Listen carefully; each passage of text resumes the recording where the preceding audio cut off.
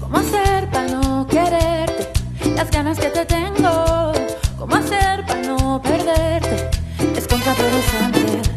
El deseo que yo siento, ¿cómo satisfacerlo? Me consume.